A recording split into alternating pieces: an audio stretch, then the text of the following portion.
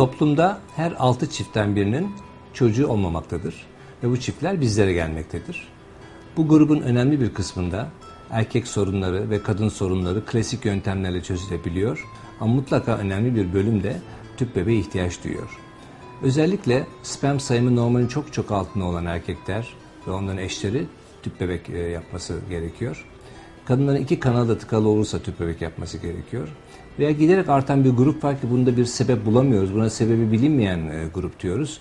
O grupta da ilaç tedavileri, aşılamalar gibi değişik yöntemlerle çocuk sahibi olunamazsa sıra tüp bebeğe geliyor ve bu durumlarda tüp bebek gayet başarılı oluyor.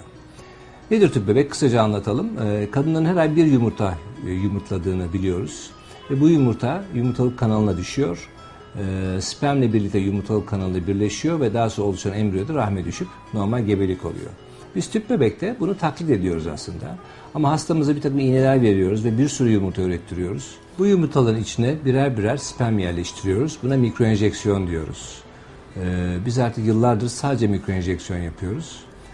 Normal tüp bebekte ise bu yumurtaların yanına spermin kendisi bırakılır ve spermin yumurta döllenmesi beklenir. Ama bazen bu gerçekleşmediği için artık günümüzde dediğim gibi hep e, tek bir yumurtanın içine bir sperm yerleştirilip mutlaka döllenme gerçekleştirilmeye çalışılıyor. Daha sonra dışarıda çok özel ortamlarda tutulan bu döllenmiş yumurtalar 3 gün sonra veya 4 gün veya 5 gün sonra rahme yerleştirilerek e, gebelik bekleniyor. Buna biz tüp bebek diyoruz. Peki yenilikler nedir tüp bebekte? Bundan 30 sene önce sadece %5, %10 civarında olan tüp bebek başarı şansı günümüzde %50'lere, 60'lara kadar çıkmıştır. Türkiye'deki son yönetmelik değişikliğiyle artık e, bir tane embriyo veriyoruz 35 yaş altındakilere. Üstündekilere de iki tane veya işte üçüncü denemeden sonra iki tane verilebiliyor. Ee, embriyo başına gebelik şansı yaklaşık %30 civarındadır. %40 civarındadır. Bunu daha da arttırmak için değişik yöntemler var. Bir tanesi e, embriyoları daha iyi seçmek. Yani embriyonun bulunduğu ortamdaki e, sıvıdan kullandığı maddeleri ölçüyoruz veya embriyonun genetiğine daha iyi bakılıyor. Çoğunuzun bildiği 5-6 tane kromozoma bakıp yerleştirme dediğimiz bir PGT yöntemi vardır. Son yıllarda biz bunu CGH yöntemiyle değiştirdik. CGH'de insanoğlundaki bütün 23 kromozoma birden bakılıyor. Ee, ve bunu 24 saat gibi çok kısa bir zamanda yapıyoruz. Ve ondan sonra tamamen embriyoları e, kromozom bakılmış, doğru bulmuş embriyolar rahmi veriliyor. Bu da gebelik oranlarımızı arttırıyor. Özellikle az embriyo ama çok gebelik oranı artık bizim e, amacımız bütün dünyadaki eğilimlere uygun olarak. Bir de yine son yıllarda hoşumuza giden, beğendiğimiz ve hastalarımızın da çok e, memnun olduğu mini tüp bebek dediğimiz bir yöntem var. Bunda da e, normal tüp bebeklik ilaçların yaklaşık yarısından azını veriyoruz. Doğanın kendi gücüne biraz zaman bırakıyoruz.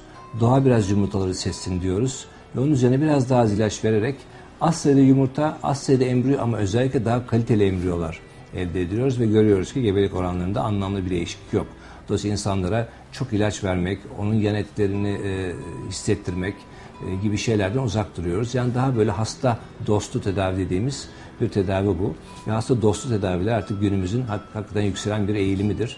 E, bu konuda bizim de kendi ekibimizle birlikte bu yolu seçtiğimizi e, bildirmek isterim. Tüp bebek hastalarımızın en büyük sorunlarından bir tanesi de tekrar tekrar denemelerine rağmen gebe kalamamak bu orta hiçbir sebebin olmaması.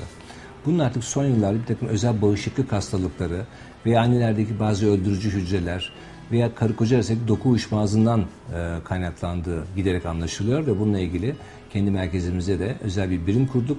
Özellikle bu hastaları yaklaşık 16-17 kalemden müteşekkil bir kan testi tabi tutuyoruz. Sonuçlarını gördüğü ön tedaviler yapıp ondan sonra tüp bebek yapıyoruz. Bunun da tüp bebek gebelik şansını arttırdığını görüyoruz.